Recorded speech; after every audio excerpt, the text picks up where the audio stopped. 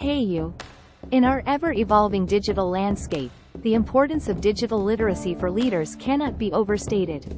As a life coach specializing in leadership development, I am constantly inspired by the impact of digital literacy on personal and professional growth. Digital literacy is not just about using technology, it's about understanding how to navigate, evaluate, and utilize digital tools effectively. Leaders who possess strong digital literacy skills are better equipped to lead in a world where information is abundant but often overwhelming. They can harness the power of technology to streamline processes, communicate effectively, and stay ahead in a competitive environment. One often overlooked resource for enhancing digital literacy is the expertise of librarians. Librarians are not only custodians of knowledge but also guides who can help leaders navigate the vast digital landscape.